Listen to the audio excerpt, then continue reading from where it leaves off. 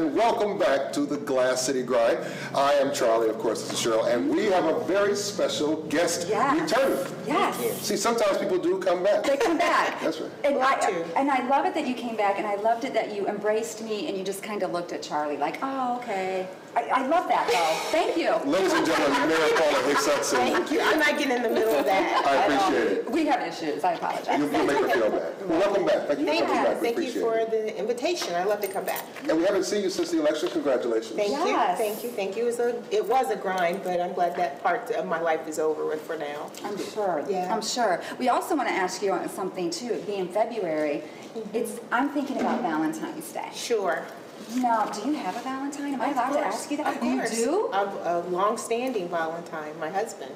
Oh. Yes. Good for you. Now, will you guys celebrate? Probably not.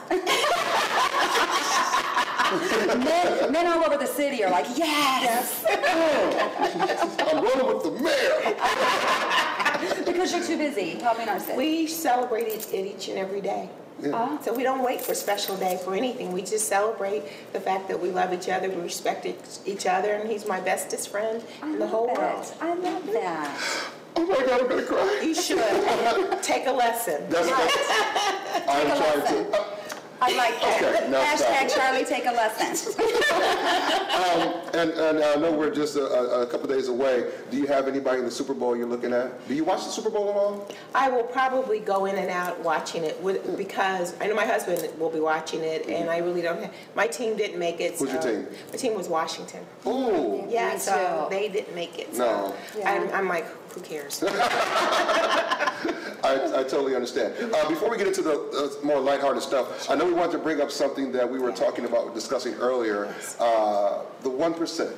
Right, we're asking voters, City of Toledo voters, to increase our temporary tax, which is right now at the three-quarter, to a full one percent. And we're doing that because, as everyone during the election I heard, fix the streets, the roads need to be fixed. And one of the things I said was before I'd ask for a tax, tax increase, I wanted to make sure we looked at every possible avenue not to go back to the voters, but unfortunately, we have to go back to the voters. So we're asking for the voters to increase the temporary tax from three quarter to one, and that'll give us for the, and it will become effective in Jan, in July.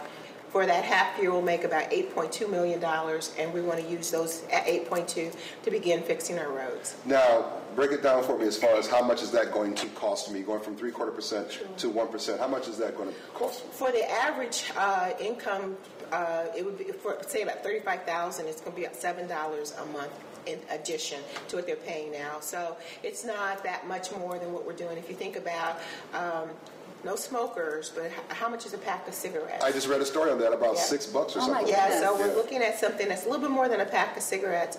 But also, if you think about how much it costs you to do a front end alignment or any other thing to your car, it's, it's well worth this money. So part, you know, we're going to use all those. Part of that dollars, no, let me back up, let me clear. The 8.2 million, I want to make sure folks know that the 8.2 is going to go for fixing our roads. And there'll be some other money generated to keep, to have a fire I'm sorry, a police class, talking too fast, a police class to, we'll get that started earlier in the year than what we've already got planned for 2016. So if this is, if this is successful, uh, and it's approved and everything goes through the way you would like for it to go, when will we see some changes, some, some work starting to happen? Well, that's why if it passes in March, we can begin to let contracts, and as soon as the construction season start, you can start seeing us out All there right. doing some, doing some improvement right, on our that's what I'm talking about. Right, we Absolutely. need that. Because we've all heard horror stories of people hitting oh, potholes and things. Right. Oh, and it's ridiculous. And the fact that for, you know, for over 12 years, we have lost, not 12 years, but eight years, we've lost local government funds that we used to use, and we've had to borrow from capital improvement dollars to just keep the city running. And so this will help us not to borrow those dollars anymore, and also for us to start fixing our streets. We'll be able to take care of ourselves now. Yeah. All right. We need that. We Yeah, need we, that. ha- we have to do Right. that. So We're thank gonna- you for letting me talk about oh, that. Oh, yes, no. No. We're going to take a break and then we're going to take some more questions Sure. from some people that have, you know, that follow the show. So Great. we'll be right back after this with the mayor. The Toledo City Paper features the best Toledo has to offer food, fun, entertainment, music, art, and more. Be sure to check out the Glass City Grind's new ad in this week's issue. Pick up your copy anywhere around the greater Toledo area or read online at ToledoCityPaper.com. And welcome back. We are with our mayor, Paula Hicks Hudson. And you know, Charlie, I'm Cheryl. Thank you for sticking with us. Thank Just in case you forgot who we were. Just, yes, I feel like, how, I thought we were unforgettable, however, we are. Moving on. I thought one of you were going to start singing. I know, he usually does. I was going to, but out of respect for you, I didn't want to hurt your ears. Oh, okay. He is Yeah. on his Oh, you've best got the- behavior today. You've got that radio voice. And that's about it. he does. That's about it. This is true. Yeah. Okay, what I want to talk about Okay. now is it's also Black History Month. Yep. So, um, do you have any thoughts about our city or even being um, the first black mayor here or female, Female, mayor? mhm. mayor? Do- I mean, do you have any thoughts or things that you'd like to see in our city when it comes to that? Well, sure. I think, you know, one of the most important things is for young people to know that everything's possible. You know, if you prepare yourself, if you keep your eye on the, as they say, the eye on the prize, that you have these same opportunities. And so one of the things um, Mayor Ford, Jack Ford, talked to me is one of the reasons why I decided to run was the fact that now, you know, I was, as my, um, uh, being sworn in. I was the first African American female.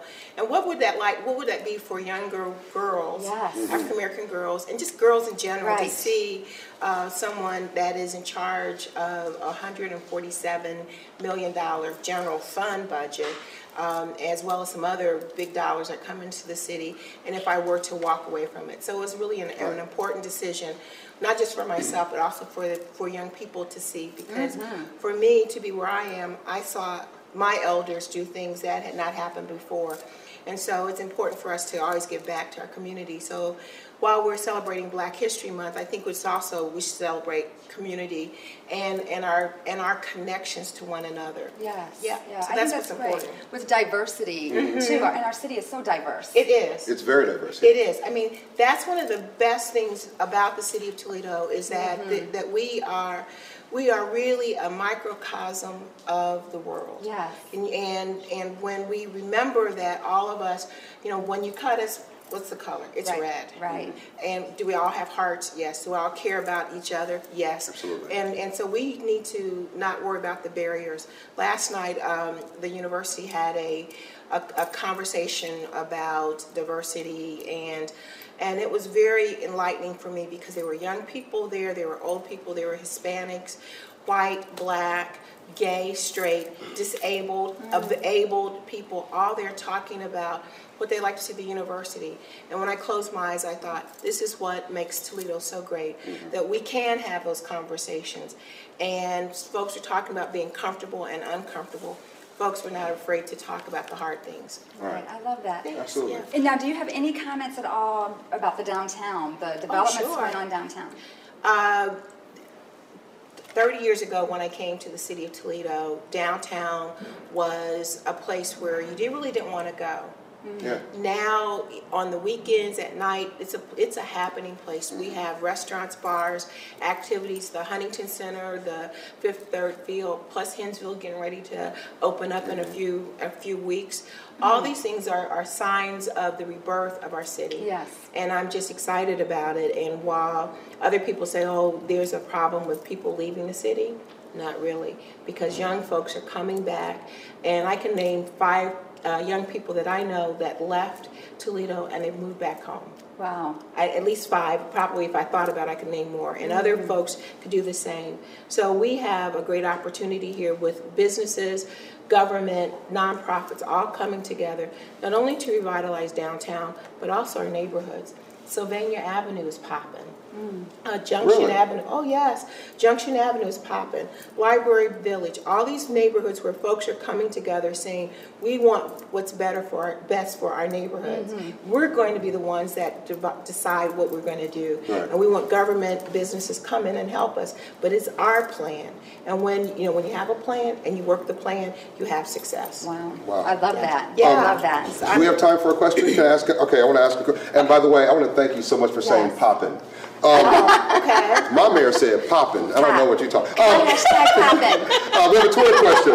Um, A Woods Six asked this question. Okay. Uh, with all the trouble, oh yeah, it's about this time of year. With all the trouble Flint has been having, what steps are you taking to ensure our water safety It for should be, Toledo? it should be what steps have we taken? Take- okay. Because, Yes. because last summer, you know, the big deal for us was the microcystin.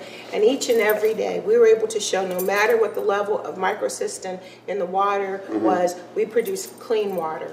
And we continue to do that. The problem in Flint was when they connected, when they connected, disconnected from Detroit and began to pump the water in from the Flint.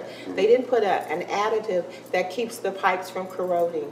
And that, that, that- and that's what caused the lead to be leached from their pipes. Mm-hmm. We don't have that problem, and in fact, Thank our, Yes. thank goodness, yes. In fact, you know, we don't have to test as much as others because our water and the amount of lead is, is almost, I don't say it's a non-detect, but it, it meets the standards that we need to make sure that we're not poisoning our children or our our seniors. I mean, so if you were to come into my office, you'd see on my board, the very first thing that I have is safe drinking water. That's one of the main goals that I look at each and every day, and to make sure that our Department of Public Utilities are doing everything we can, because to wake up on a, a Saturday morning and you're getting ready and you drink coffee and you said, "Oh, you can't drink it." Yeah. Mm-hmm. That Yes. that is something that we should never have to Never. answer. Never. And for, and for the for our colleagues and our families and our friends in Flint, you know, we know what it was like for three days. Yes. Yeah. This is going to happen. This is a generational Oh, issue. Yeah, this is gonna be a problem for a while. So, so mm-hmm. tell, tell, so tell him that we are, that is a pledge that we're working each and every day to make sure we're spending millions of dollars for our plant.